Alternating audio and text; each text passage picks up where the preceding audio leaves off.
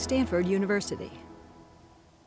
Hello, I'm Ruth Porat. I'm a member of the Board of Trustees of Stanford University and a member of the Presidential Search Committee to identify the 11th president of Stanford University.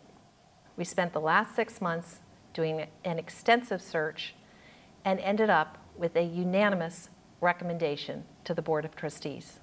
And I'm very pleased to be here with you today to introduce Stanford's next president, Mark Tessier Levine.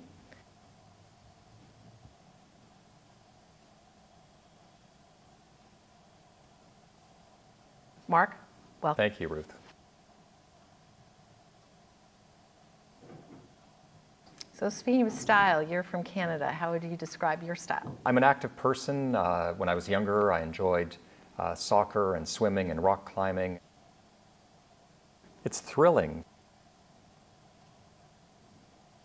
But don't get me wrong, although I can be a little proper at times, uh, I'm very approachable. I love interacting with people. So the search committee spent a lot of time speaking to a lot of people who knew you well. Your focus has been biomedical research. I was always attracted to science. Thank you, Marc. Welcome back to the farm. We are thrilled to have you here with us. Thank you so much, Ruth. For more, please visit us at stanford.edu.